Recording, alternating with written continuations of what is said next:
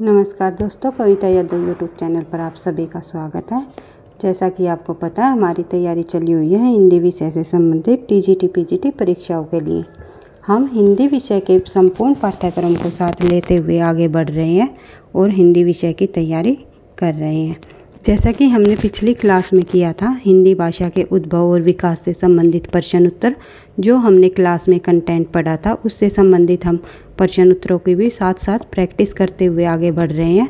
तो time waste न करते हुए बढ़ते हैं हम नेक्स्ट क्वेश्चन पर। अपभ्रंश की विशेषताओं के संदर्भ में कौन सा कथन असत्य है? इनमें से कौन सा कथन ऐसा है, जो अपभ्रंश की विशेषताओं में नहीं पाया जाता? बट अपभ्रंश में शह शय के स्थान पर केवल स प्रचलित था। ये बिल्कुल सही है। इनमें लगभग वही ध्वनियाँ थी जिनका प्रयोग प्राकृत में होता था। ये भी बिल्कुल सही है। नपुसिंग लिंक समाप्त प्राय था। ये ये भी बिल्कुल सही है। कारकों के रूप में में अधिक हो गई कारकों के रूप में अधिक हो गई ये गलत है क्योंकि अपभ्रंश भाषा में कारकों का लोप होना शुरू हो गया था, ना कि उनकी संख्या अधिक हो गई थी। आंसर हो जाएगा डी। नेक्स्ट क्वेश्चन निम्नलिखित में से कौन सा व्यंजन अपभ्रंश की वर्णमाला में नहीं आता? तो आंसर हो जाएगा इनमें श क्योंकि अभी पहले ही पढ़ा था हमने श शय के स्थान पर श प्रचलित था।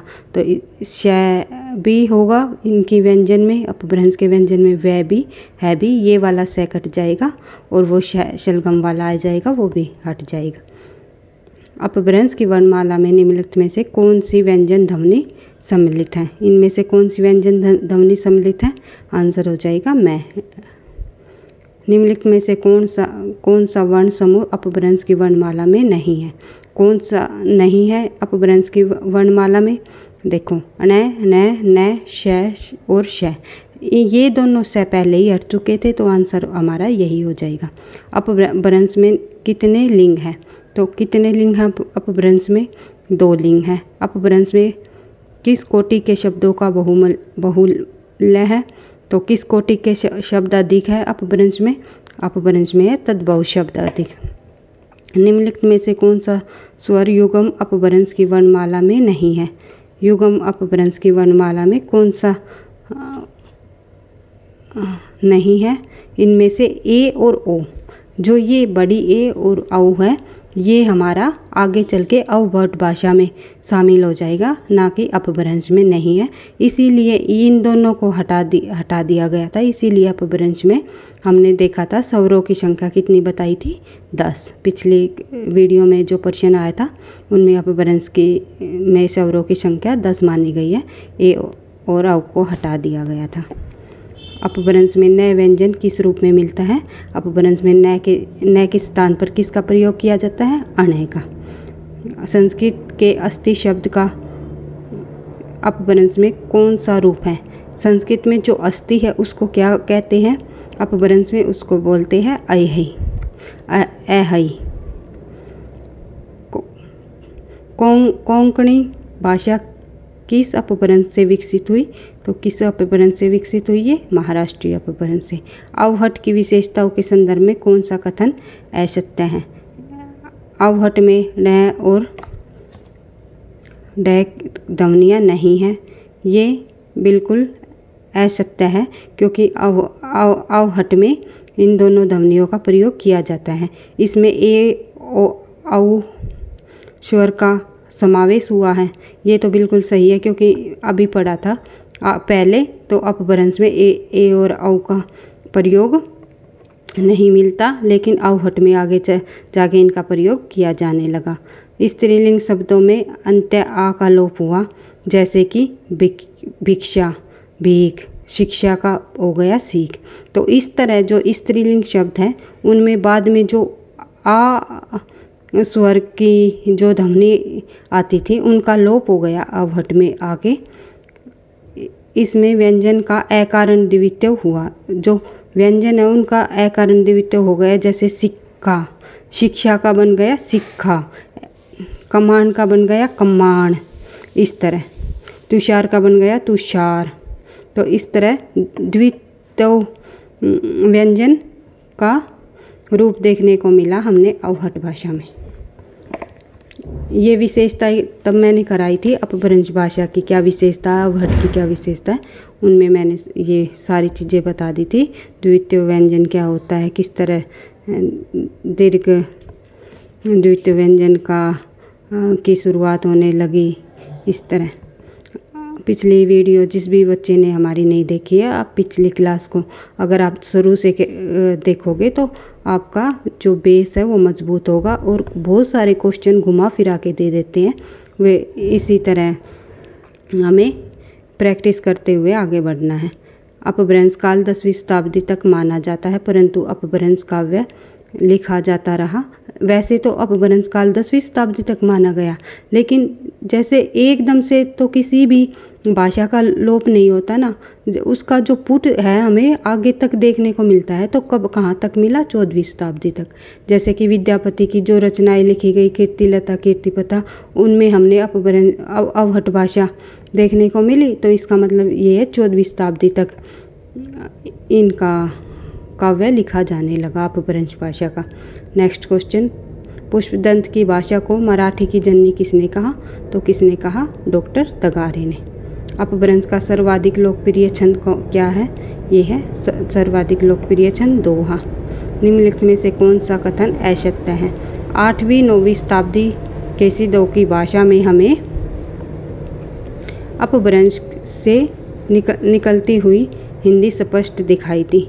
ये बिल्कुल सही है। मैंने बताया था कंटेंट की क्लास में पढ़ाया था तब भी।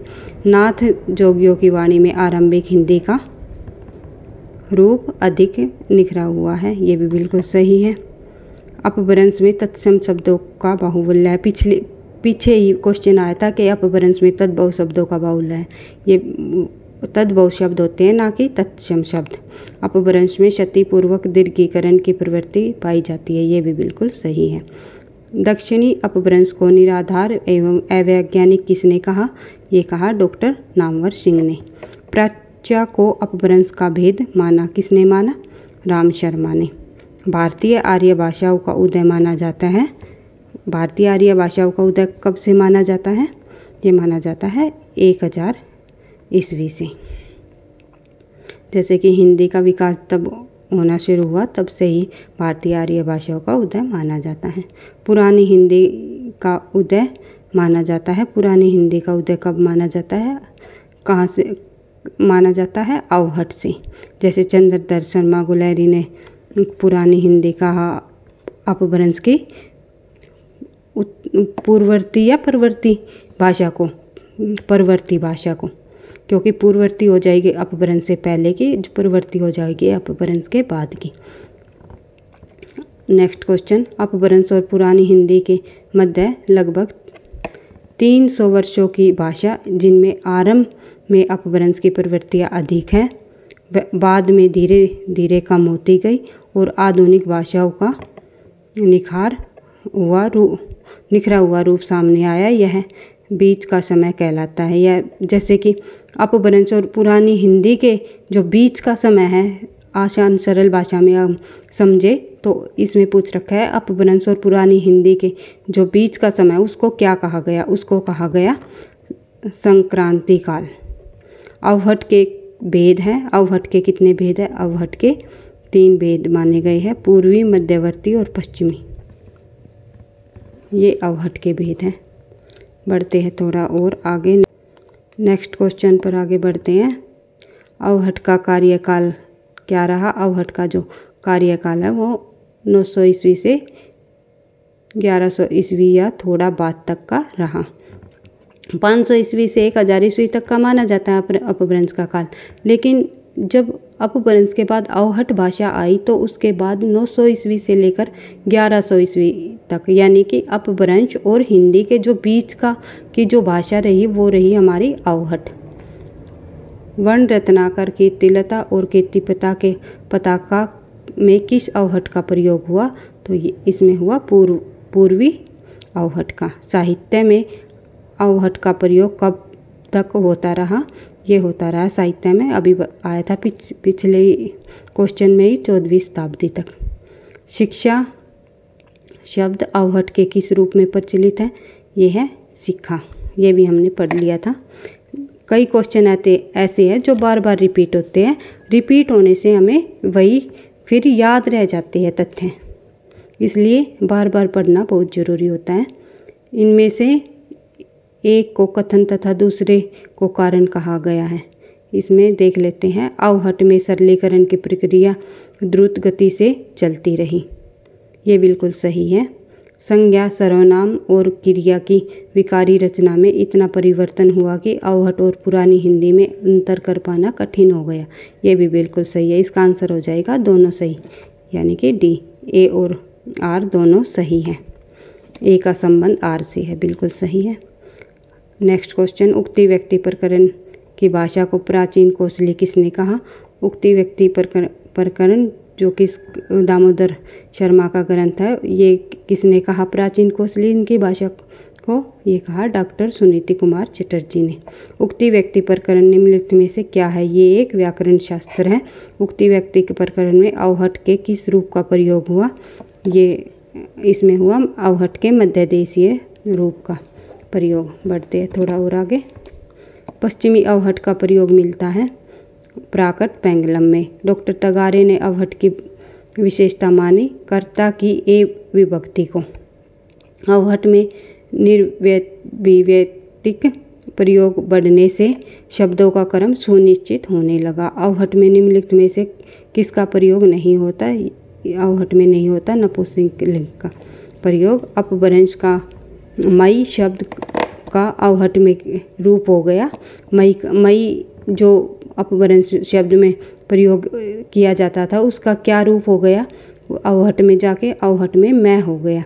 अपभ्रंश अवहट में किस छंद का प्रयोग नहीं मिलता? तो धनाक्ष, धनाक्षरी छंद का प्रयोग नहीं मिलता। और पूछा था अपभ्रंश का जो भाषा का जो प्रिय छंद है, वो क्या था? प्रिय छंद रहा दोहा और धनाक्षरी का। प्रयोग नहीं मिलता। अपभ्रंश और अवहट में चौपई कितनी मात्राओं का छंद था? तो ये था पंद्रह मात्राओं का छंद। हिंदी के कवियों को काव्य में चमत्कार, लाने और वैज्ञ चित्र के प्रदर्शन की प्रवृत्ति किससे मिली? ये मिली अपभ्रंश और अवहट से। हिंदी पर्षकों के विकास में सर्वाधिक योगदान निम्नलिखित में से किसका रहा? ये रहा अपभ्रंश और अवहट का। निम्नलिखित को सुमेलित कीजिए सही कूट का। राहुल वेल किसकी रचना है? ये है रोडा कवि की। स्वाओ स्वाय धम किसकी है? ये है देव, देवसेन की। और नेक्स्ट है परम पयाशु किसकी रचना है? ये है जोइंदो की। और बढ़ते हैं थोड़ा और आगे।